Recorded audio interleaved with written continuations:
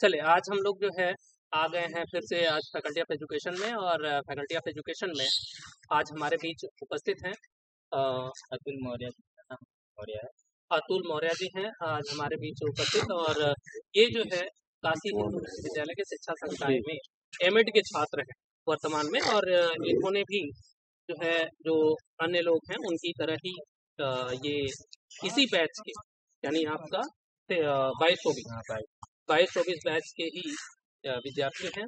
और एक चीज़ और इन्होंने ही अभी अभी बताया कि ये जो है लेखक भी हैं और कहीं ना कहीं इन्होंने कविताएँ वगैरह भी लिखते हैं। तो कुछ लाइन भी आपको ये शुरुआत में सुनाना चाहेंगे? धन्यवाद मेरा नाम सतुल मौर्य है और मैं आजमगढ़ का रहने वाला और मैंने अभी मेरा बी एड जो है वो आगरा यूनिवर्सिटी से एफिलेटेड कॉलेज है अलीगढ़ और कि सर अभी आपने बताया कि शायरी वगैरह शायरी यही है कि सबसे पहले तो आजमगढ़ शायरों की जन्म कवियों की जन्म है तो उससे भी एक इंस्पिरेशन होता है।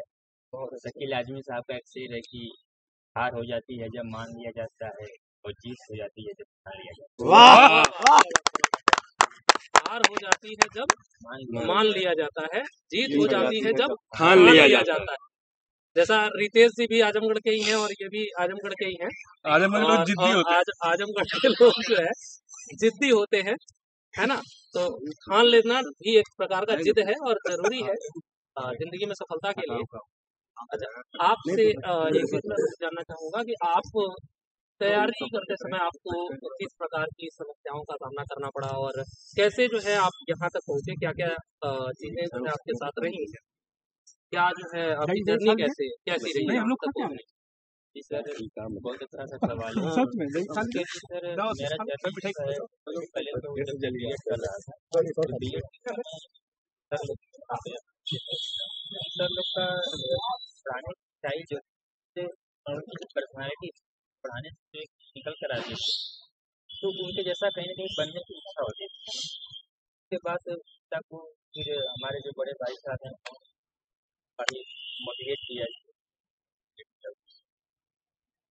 मोटिवेशन कहीं ना कहीं स्टडी में बहुत सीखा तैयारी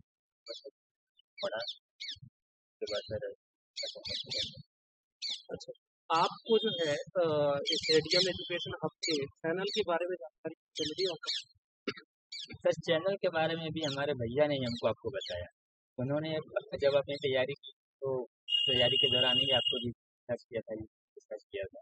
तो उन्होंने बताया कि एडियम एजुकेशन का चैनल है, इसी को कंटेंट बहुत अच्छे हैं। तो हम सर जुड़े और सच में हमें बहुत फ़ायदा हुआ कंटेंट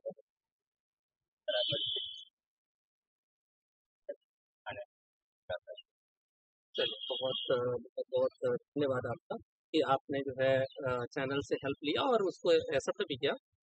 अच्छा एक चीज़ और मैं आपसे जानना चाहता हूँ कि जो आने वाले विद्यार्थी हैं कि कैसे तैयारी करनी चाहिए और उनको अ, कुछ अगर सजेशन आप देना चाहें।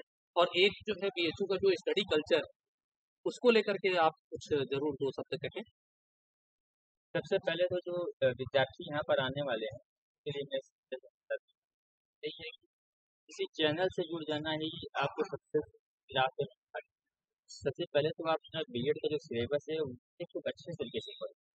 जितने मुख्य सब्जेक्ट कोर्स सब्जेक्ट हैं उसे खूब अच्छे तरीके से पढ़िए। उसके बाद चैनल से जुड़ना बहुत ज़्यादा इसलिए कारगर होता है क्योंकि जब आप किताब पढ़ते हैं किताब पढ़ने के साथ साथ आप एक कुशल मार्गदर्शन जा सकता है कि आप किस दिशा में किताब पढ़ें किस तरीके की किताब किताब पढ़ने के बाद जब आप चैनल खोलते हैं तो चैनल आपको बहुत ही कन्फ्यूज़न में बहुत चीज़ें वो वहाँ से मिल जाती हैं आप चैनल के। क्योंकि ये चैनल एक होता है चैनल ऐसा जो जो एम के लिए इसकी तैयारी करा रहा है।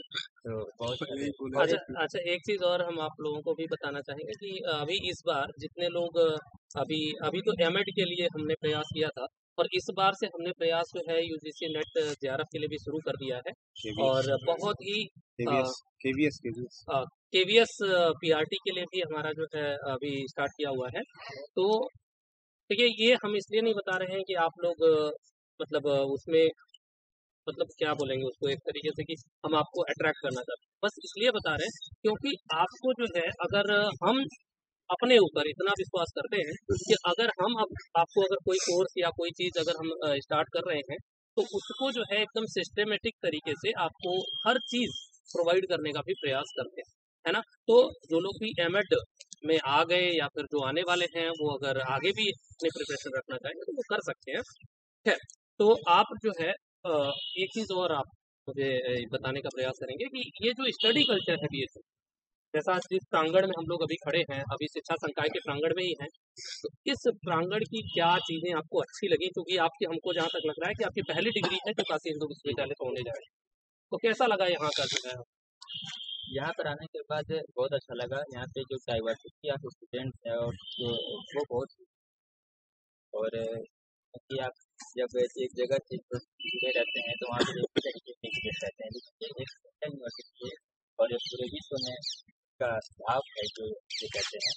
तो पूरे विश्व से देश भर के कोने कोने से लड़के आते हैं तो डाइवर्सिटी यहाँ पर स्वाभाविक है डाइवर्सिटी बिल्कुल बिल्कुल। तो उसके बाद यहाँ पे जो सर लोग हैं जो प्रोफेसर हैं वो बहुत ही well well qualified well educated है और वेल हेल्पफुल हेल्पफुल भी है भाई बहुत ज़्यादा मददगार साबित भी होते हैं ये लोग। तो के अंदर में पढ़ना अपने आप को बात के बारे है। भाई। चलिए जैसा आप लोग जो है थोड़ा सा कैमरा को इधर मूव करा दीजिएगा हल्का से एक बार ऐसे जो है मूव करा दीजिए। देख लीजिए आप लोग जो है ना थोड़ा सा इधर कल्चर भी देख सकते हैं यहाँ का। तो यहाँ पर जो है तो ग्रीनरी है आपको ये शिक्षा संकाय का ही है पूरा मुँह करा दीजिए वो जो है बार हल्का सा मुँह करा करके आप निकाल दो। है ना? चलिए। तो हमने आपको जो है थोड़ा सा प्रयास किया कि आपको इस शिक्षा संकाय का देखिए ये आपको एटमोसफियर भी दिख जाए है ना? तो आज की इस वीडियो में उम्मीद करूँगा कि आपको बहुत सारी चीज़ें जानने को और सीखने को मिली होंगी और इनसे भी कुछ चीज़ें आपको वो मिली होंगे। आप कुछ और कहना चाहते हैं? हाँ और ये जो है कुछ और कहना चाह रहे हैं? चीज़ मैं इससे कहना चाहता हूँ हरिवंश राय बच्चन जी भी इस संकाय के प्रोडक्ट हैं। तो उनकी एक है उनकी एक पुस्तक है। मधुशाला पुस्तक। है हाँ। पुस्तक की चार लाइनें कि मदिरालय जाने को घर से जाता है पीने वाला। मदिरालय जाने को घर से जाता है पीने वाला। इस पथ से जाऊँ असमंजस में है वह भोला वाला अलग अलग पथ बतलाते सब पर मैं एक बताता हूँ। राह पकड़ तू एक चला पा जाएगा। वाह। तुम्हारे समझ में आए। कहाँ पथ जा रहा बहुत बहुत धन्यवाद और बहुत सारी शुभकामनाएँ आपको। बहुत अच्छे से आप तैयारी कीजिए और बहुत अच्छे से पढ़ाई कीजिए चलो आज की इस वीडियो के लिए बस थैंक यू वेरी मच